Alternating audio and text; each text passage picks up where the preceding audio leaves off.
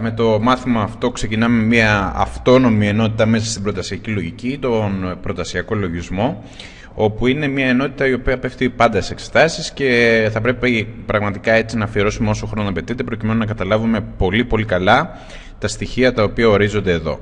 Οπότε ξεκινώντας να δούμε ότι με το που μεταβαίνουμε σε αυτό το πράγμα το οποίο το ονομάζουμε προτασιακό λογισμό και θα χρησιμοποιούμε και το αρτικό λέξο λάμδα, δεν ισχύει τίποτα από όσα μάθαμε στην προτασιακή λογική.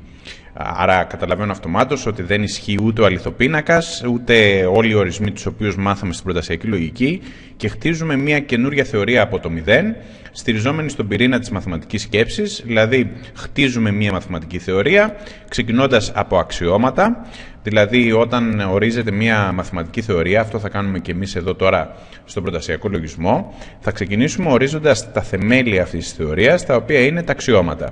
Τα αξιώματα τα οποία θα τα ονομάσουμε εδώ αξιωματικά σχήματα, είναι αρχικά τα μόνα πράγματα τα οποία μπορούμε να ισχυριστούμε ότι ισχύουν, ότι αληθεύουν. Αυτό το πράγμα είναι σύνηθε στα μαθηματικά, δηλαδή ας πούμε στη γεωμετρία για παράδειγμα, το πρώτο πράγμα που ορίζουμε για να ξεκινήσουμε να κάνουμε τη δουλειά μας σε αυτή τη θεωρία είναι τα αξιώματα.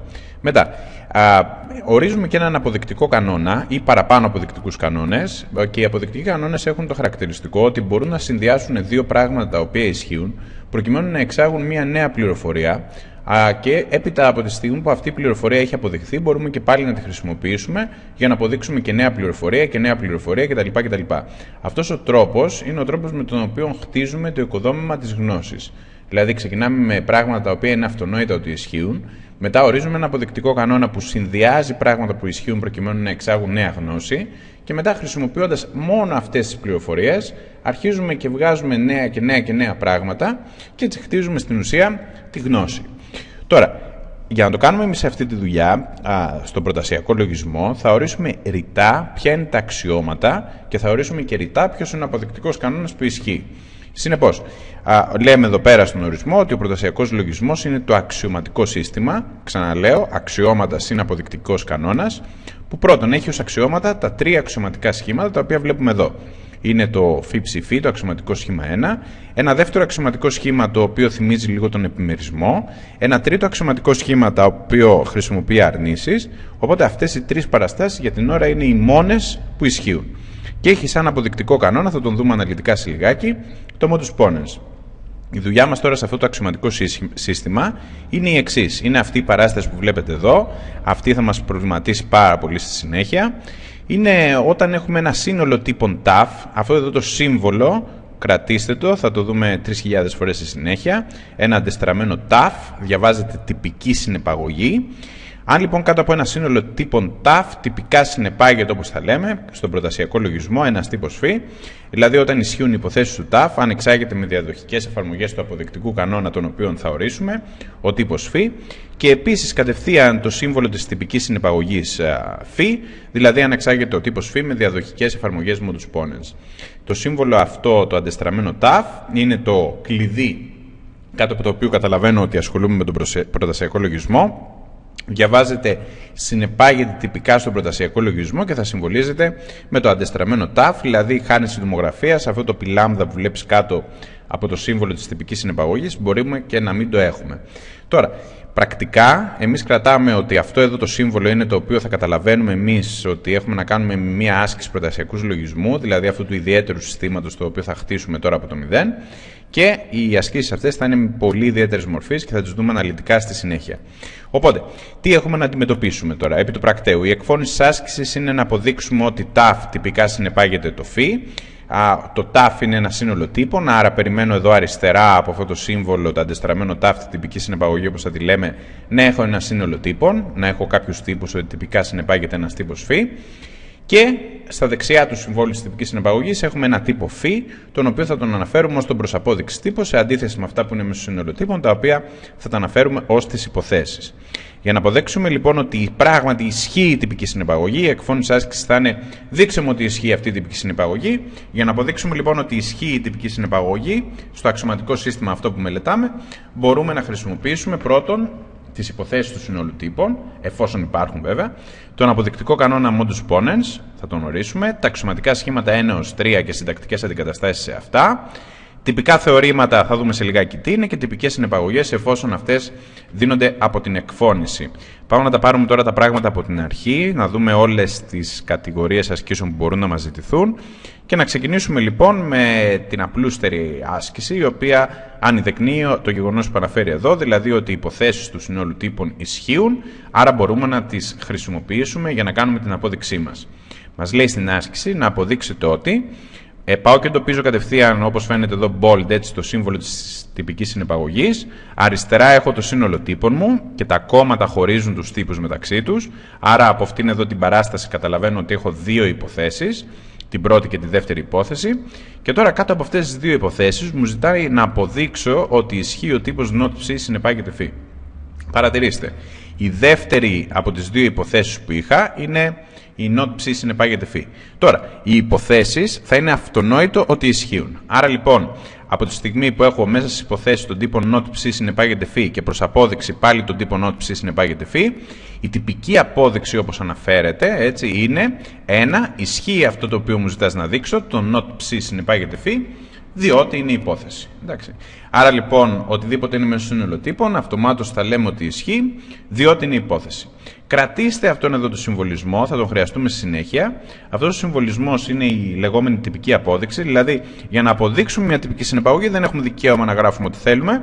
Έχουμε δικαίωμα να αριθμούμε τύπους που ισχύουν και να γράφουμε τον αριθμό, τον τύπο και από δίπλα γιατί ισχύει. Για την ώρα έχουμε μάθει μόνο έναν λόγο γιατί ισχύει ένας τύπος και αυτός ο λόγος είναι επειδή βρίσκεται στο σύνολο των υποθέσεων. Άρα λοιπόν η τυπική απόδειξη αυτής της πρότασης είναι 1, αρρύθμιση, αύξουσα, ισχύει ο τύπος not ψ συνεπάγεται φ, διότι είναι υπόθεση. Πάμε να δούμε τώρα το δεύτερο πράγμα που μπορούμε να χρησιμοποιήσουμε σε μια τυπική απόδειξη. Είναι ο αποδεικτικός κανόνας modus ponens. Όπως είπαμε, ο αποδεικτικός κανόνας έχει το ρόλο να παίρνει δύο πράγματα που ισχύουν για κάποιο λόγο και συνδυάζοντάς τα να εξάγει ένα νέο τύπο ότι ισχύει βλέπουμε τον ορισμό του κανόνα μου τους πόνες, λέει ότι αν ισχύει ο τύπος φ και ισχύει και ο τύπος φ συνεπάγεται ψ, τότε ισχύει και ο τύπος ψ.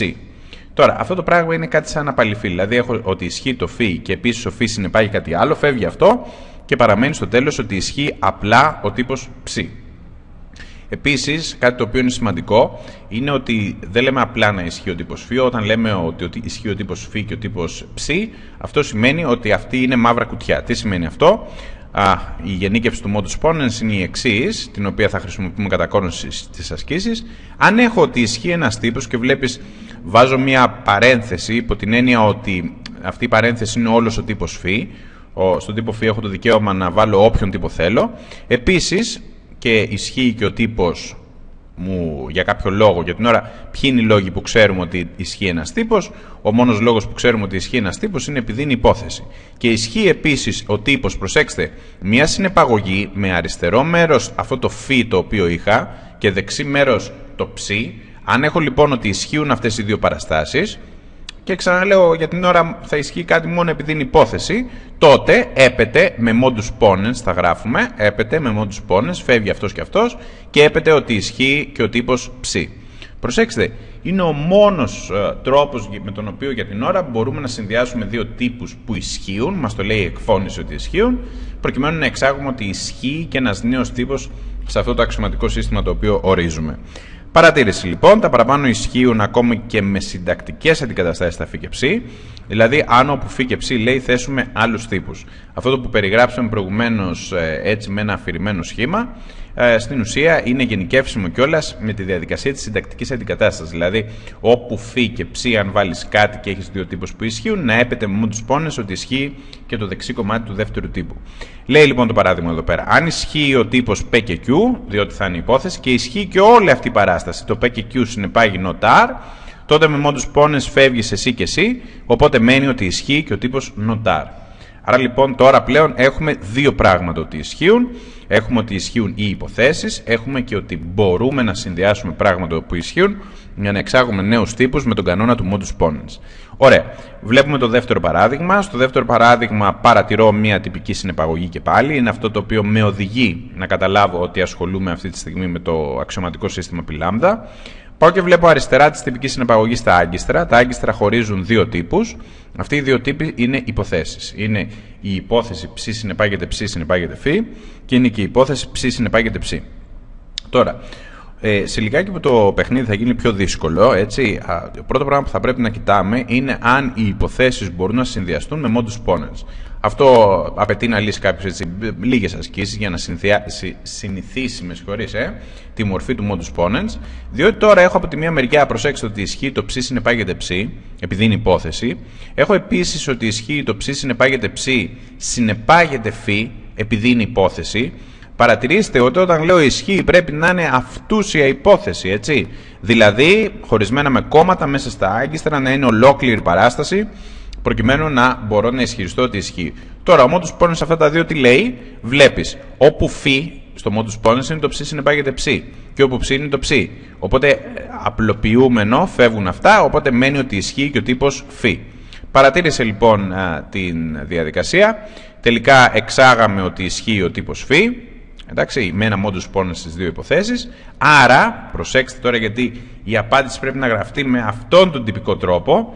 Δηλαδή εδώ πέρα η απάντηση δεν μπορεί να είναι ό,τι θέλει. Πρέπει να γραφτεί ακριβώς με τον τρόπο που βλέπετε εδώ. Και ο τρόπος αυτός είναι αύξουσα αρρύθμιση, τύπος και γιατί ισχύει. Βλέπετε στην πρώτη γραμμή. 1. Ισχύει ο τύπος ψ συνεπάγεται ψ διότι είναι υπόθεση. 2. Ισχύει ο τύπος ψ συνεπάγεται ψ διότι είναι υπόθεση.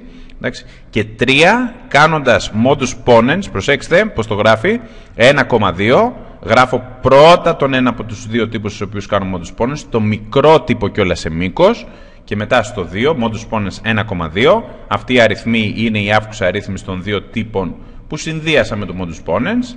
Έπεται ότι ισχύει και το φ. Ξαναλέω λοιπόν, αύξουσα αρρύθμιση, τύπος γιατί ισχύει. Στο γιατί ισχύει για την ώρα έχω μόνο δύο επιχειρήματα που μπορώ να αρθρώσω. Πρώτον, ότι είναι υπόθεση και δεύτερον, με modus ponens σε πράγματα που ήδη ισχύουν. Πάμε να δούμε άλλο ένα παράδειγμα, λίγο πιο περίπλοκο. Τώρα βλέπετε ότι στην ουσία έχουμε ορίσει τους κανόνες ενός παιχνιδιού, μας δίνουν τις εκφωνήσεις και μπορούμε να συνδυάσουμε πράγματα μόνο με τους κανόνες του παιχνιδιού. Δηλαδή, έχω να αποδείξω εδώ μια τυπική συνεπαγωγή. Προσέξτε, βλέπω την τυπική συνεπαγωγή, το σύμβολο, το οποίο χωρίζει την παράσταση στα δύο. Μετά, η δεύτερη μου δουλειά είναι να πάω να εντοπίσω ποιες είναι οι υποθέσεις. Η υπόθεση η πρώτη είναι αυτή εδώ, η υπόθεση η δεύτερη είναι αυτή εδώ, η υπόθεση η τρίτη είναι αυτή εδώ και ο προσαπόδειξης τύπος, αυτό το οποίο θέλω να καταλήξω ότι ισχύει, με αύξουσα αρρύθμιση κτλ. είναι ότι ισχύει ο τύπος ψ συνεπάγεται φ χρησιμοποιώντας μόνο τα επιχειρήματα τα οποία δώσαμε. Οπότε τώρα η πρώτη μας δουλειά θα είναι η εξής. Έχω στα χέρια μου τρεις υποθέσεις. Η δουλειά μου θα είναι να δω μήπως μπορώ να συνδυάσω υποθέσεις προκειμένου να εξάγω ότι ισχύει ο απόδειξης τύπος. Παρατηρήστε, αν έχω την τρίτη υπόθεση, τη γράψω έτσι λίγο εδώ ψηλά στο προχειρό μου και γράψω και την υπόθεση not ψ συνεπάγεται φ συνεπάγεται χ, αυτό το οποίο πρέπει να παρατηρώ ότι αυτοί οι δύο παραστάσεις έχουν το ίδιο αριστερό μέλος. Φεύγει αυτό με αυτό, οπότε με modus ponens έπεται ότι ισχύει ο τύπος φ συνεπάγεται χ. Από τη στιγμή που το έχω ότι ισχύει αυτή η παράσταση, μπορώ να τη συνδυάσω εκ νέου με πράγματα που ισχύουν με νέες εφαρμογές του modus ponens.